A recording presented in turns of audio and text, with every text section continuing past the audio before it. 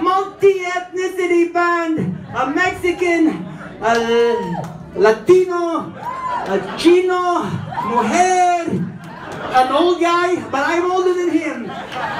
In my days in punk rock, we would all dance to this tune because it has a catchy beat.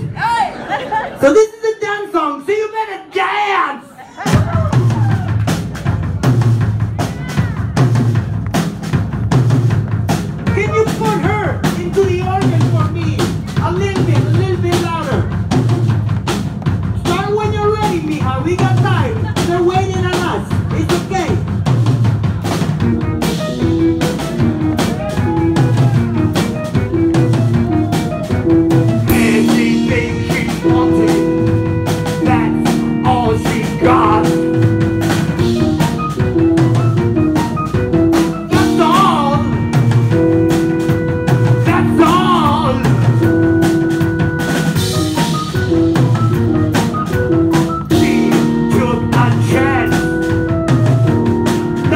happen.